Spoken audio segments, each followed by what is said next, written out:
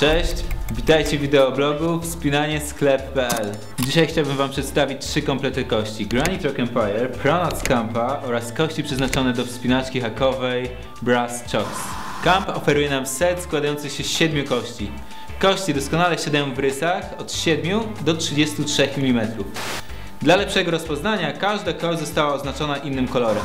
Kości są bardzo dobrze wykonane, frezowane rowki ułatwiają sadzanie, zestaw waży niecałe 300 gram. Rock Empire to bez wątpienia powrót do tradycji. Set jest wykonany bardzo starannie z twardego aluminium, składa się z 11 kości o rozpiętości od 5 do 30 mm.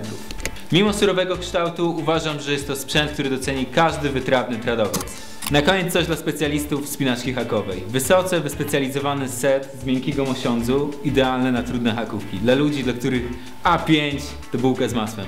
Rodzaj materiału, z którego są wykonane, ich budowa powodują, że świetnie siadają nawet w płytkich ryskach. Set składa się z 8 kości o wadze 210 gram. Ich rozpiętość mieści się w przedziale od 3 do 20 mm.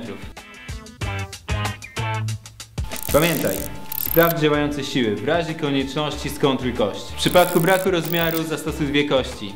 Dobrze dobierz rozmiar. Pamiętaj, porządek w sprzęcie pozwoli szybko odnaleźć prawidłową kość. Pamiętaj, aby kość dostępna była w taki sposób, by dotykała skały jak największą powierzchnią. Camp oferuje... Bez puknięcia. Takimi kośćmi chciałbyś się poszczycić nawet Kaziu Morderca.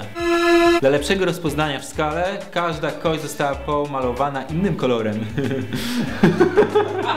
Takimi kośćmi. Yy...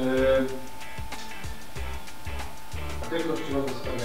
No to mówi z przekonaniem. Jedziemy, on już tekst. Zestawem. Co się dzieje? Nagrywałem nas cały czas, no przecież robimy przebitki po to, żeby w wciągamy w kawały. Te.